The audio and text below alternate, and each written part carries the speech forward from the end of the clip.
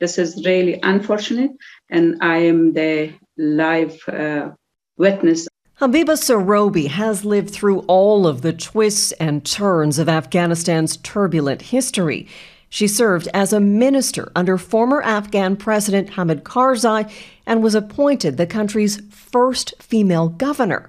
She also remembers what it was like when the Taliban was first in power in 1996 and she wasn't allowed at the table. I couldn't stay in Kabul that I thought that maybe my uh, my children will be out of education and my daughter will be illiterate. So I went uh, to Pakistan as an immigrant.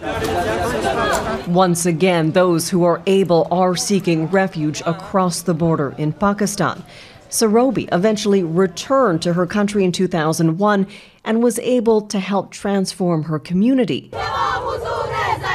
But now she fears the younger generation will find it even harder than she did because their ambitions are so much greater.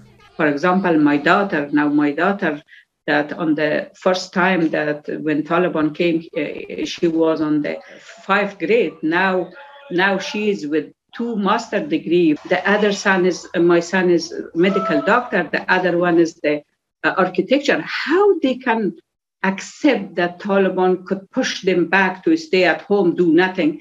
The Taliban has said that women can work, just not anywhere men are present. We have fought for almost uh, 40 years to bring Sharia law system in our government. Sharia law does not allow women and men get together or sit together under one roof women face increasing restrictions. The United Nations chief of human rights recently expressed concern that the Taliban's stated commitments aren't matching realities on the ground. Getting the new government to uphold international treaties, says Sarabi, will be up to countries such as Qatar, Iran, and Pakistan because they have clout with the Taliban. To be honest, we, we have gone back 50 years. 50 years.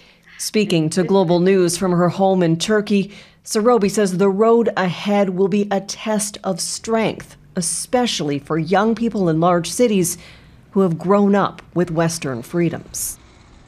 Crystal Goomansingh, Global News, London.